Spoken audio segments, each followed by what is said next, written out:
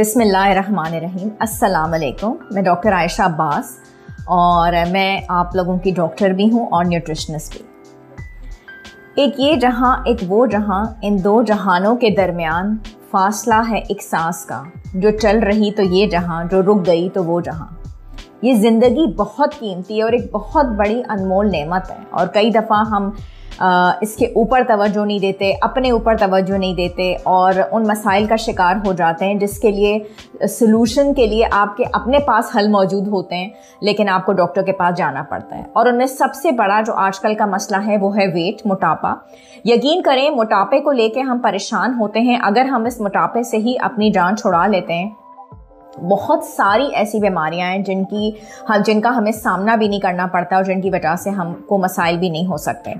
आज हम बात करेंगे 15 ऐसे टिप्स 15 ऐसे इम्पोर्टेंट टिप्स जिन पे अमल करके हम अपना बहुत आराम से 15 के जो वज़न है वो रिड्यूस कर सकते हैं।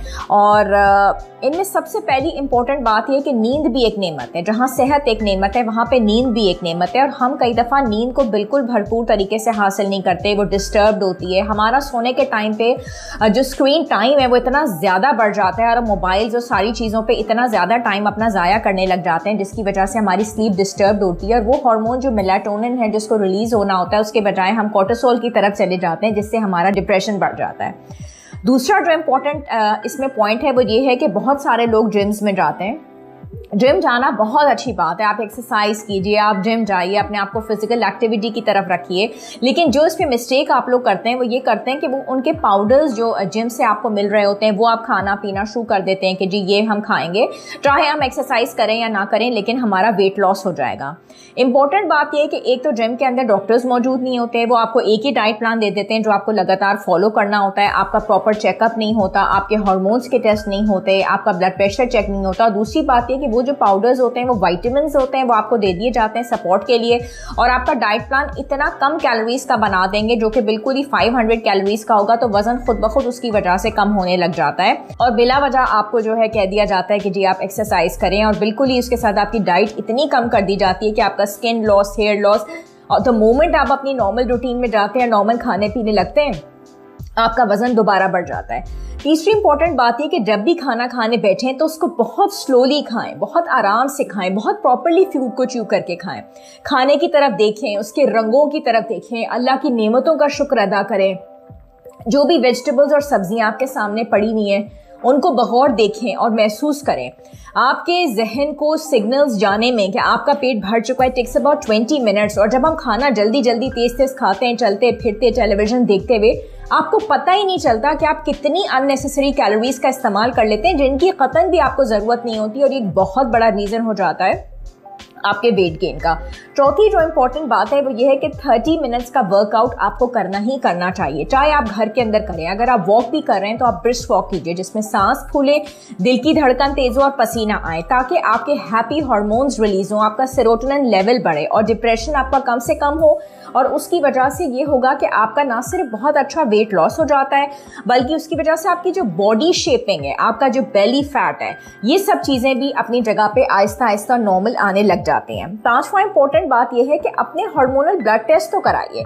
बहुत सारे पेशेंट्स जो मेरे पास कराची में आते हैं या वो ऑनलाइन भी मेरे से कंसल्टेशन लेते हैं, कराची में, बहादराबाद के अंदर, या क्लिफ्टन के अंदर, या गुलशन के अंदर। तो इम्पोर्टेंट बात ये होती है कि क्या आपने अपने ब्लड टेस्ट करवाए? अगर आपने अपने ब्लड टेस्ट ही नहीं कराया, आप हार्मोनल इम्बैलेंस का शिकार हैं, जिसमें बहुत सारे ऐसे हार्मोन्स हैं, आपके साइकिल्स इरेगुलर है, आपके चिन पे बाल आते हैं, आपकी फैमिली में डायबिटीज़ है आपने डॉक्टर को दिखाया हुआ नहीं है, आपके ब्लड टेस्ट नहीं हुए हुए तो आप एड़ी चोटी का ज़ोर लगा ले, आपका वज़न कभी भी कम नहीं हो पाता और ये एक बहुत बड़ा ब्लंडर होता है। सिक्स आपका इंपॉर्टेंट पॉइंट ये है कि आपको वार्म लिक्विड्स लेना ज़रूरी है। जब भी हम वेट रिडक्शन की तरफ़ जाते हैं तो ठंडा पानी को नहीं एडवाइस किया जाता। आपको वार्म लिक्विड्स लेने को कहा जाता है, जिससे आपका मेटाबॉलिज्म जो है वो बहुत बेहतर होता है। आप ग्रीन टी की तरफ़ जाइए, आप हर्बल टीज की तरफ़ जाइए। अगर रात को नींद में मसाइल है तो आप कैमोमाइल टी की तरफ़ जाइए, ताकि आपकी नींद भी बहुत अच्छी हो, बहुत बैलेंस्ड हो, पुरसकून हो।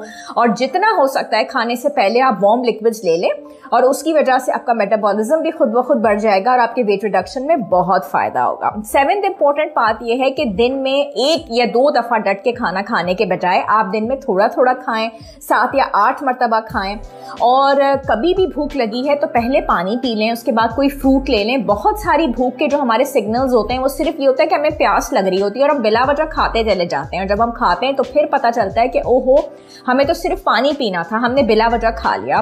तो अपने मील्स को आप ज़्यादा पोर्शंस में डिवाइड करके माइंडफुल ईटिंग की तरफ़ लेके चलेंगे।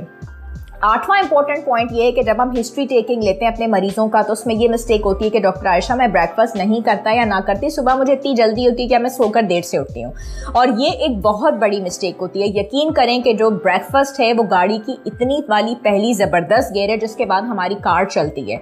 तो हमारा जिसम भी उसी तरीके से, आपको अपने जिसम की गाड़ी अगर चलानी है तो बहुत अच्छा ब्रेकफास्ट करने की ज़रूरत है। इसमें about you can take about three hundred two three fifty kilo calories you can take yogurt you can take fruit you can take a cereal आप ब्राउन ब्रेड और एग ले सकते हैं वन टीस्पून देसी घी के साथ आप अंडा भी खा सकते हैं। पाँच छः ऑप्शन में से आप कोई ऑप्शन चूज़ कर लें और सुबह की शुरुआत को एक बेहतरीन शुरुआत बनाते हुए अपने ब्रेकफास्ट को ज़रूर लें ताकि पूरा दिन आप में हिम्मत रहे, बहुत अच्छे से आप पढ़ें और बच्चों को भी इसी रूटीन की आदत डालें।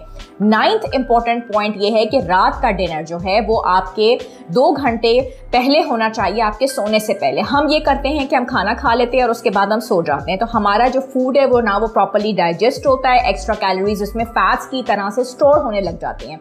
तो आपको एक गैप देना है, जितना जल्दी आप ब्रेकफास्ट करते हैं और आपकी नींद और उससे पहले आप वॉक कर लीजिए, थोड़ा टेलीविज़न देख लीजिए स्टडीज़ कर लीजिए, घर को, बच्चों को देख सकते हैं, मर्द हजरात भी अपनी एक्टिविटीज़ को इसी तरह से डिवाइड कर सकते हैं कि उनका सोने से पहले वाला जो टाइम है, वो दो घंटे के गैप का ज़रूर हो ताकि उनके जो फैट लेवल्स हैं वो कंट्रोल रहें और आपकी जो कैलोरीज हैं, वो फैट के फॉर्म में स्टोर ना हो।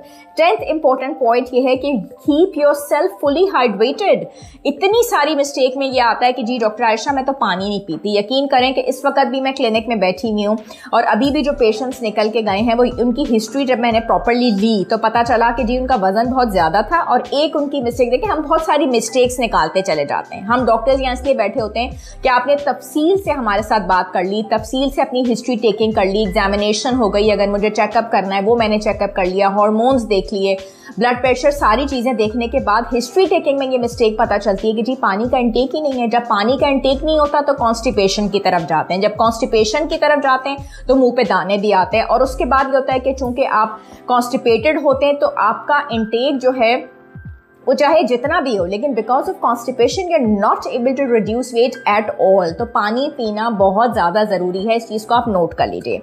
इलेवेंथ पॉइंट ये है to have positive social corrections ऐसे लोगों से मिले जिससे आपको कोई फ़ायदा हो, फ़ायदा पैसों के हवाले से नहीं, फ़ायदा जहनी हवाले से। वो आपको खुशी दे सकें, कि आपके नॉलेज में इजाफा कर सकें।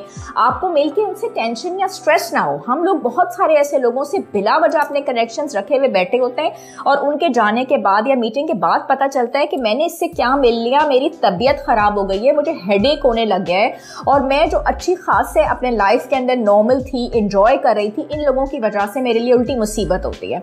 और हो गई है। तो आपके पॉजिटिव सोशल कनेक्शन होने ज़रूरी है। जितनी पॉजिटिविटी आपके अंदर आएगी, उतना आपके अंदर आगे बढ़ने की हिम्मत, सलाहियत, मेहनत पैदा होगी।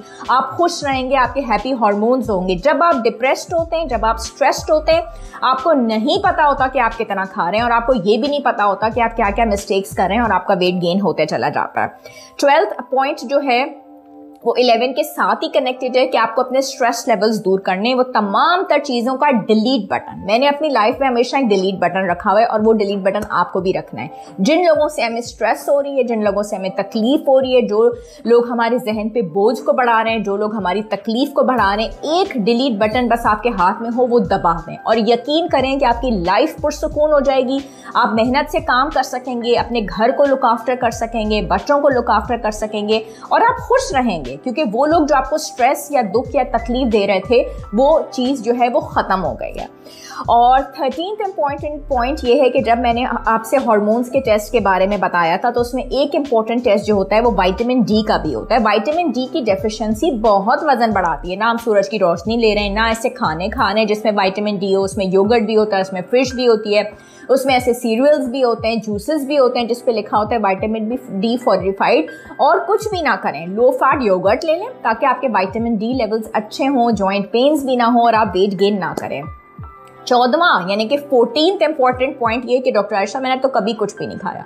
मैं पूरा दिन कुछ नहीं खाती, मैंने पूरी ज़िंदगी कुछ नहीं खाया और आज मेरा वज़न 90 के जी है, या 100 के जी है, या 80 के जी है, या 75 के जी और होना 55 चाहिए अकॉर्डिंग टू योर एज और हाइट के साथ आपके बारे में, वज़न के बारे में हम असेसमेंट करते हैं कितनी है। मैं फ़ूड डायरी ज़रूर बनवाती हूँ। जितने भी मेरे पेशेंट्स हैं, जो क्लिनिक में आते हैं या ऑनलाइन होते हैं, मैं कहती हूँ कि प्लीज़ आप एक फ़ूड डायरी बनाएँ और उसमें लिख के बताएँ तो सही कि आपने क्या किया? और जब वो फ़ूड डायरी मेरे सामने आती है, जैसे कि टीचर्स अपने बच्चों का स्कूल के बच्चों का होमवर्क चेक करते हैं तो पता चलता है कि जी, आपने तो इतना कुछ खाया हुआ है और आप तो कह रहे थे कि आपने कुछ भी नहीं खाया तो आपको अपनी मिस्टेक्स पता चलती हैं, चाहे आप वो हमारे साथ शेयर करें या ना करें।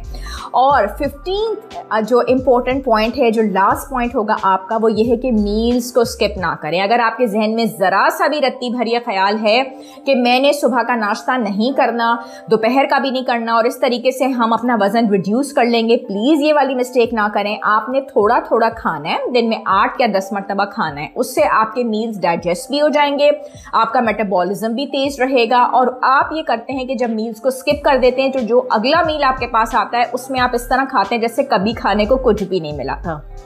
तो मील्स को स्किप नहीं करना।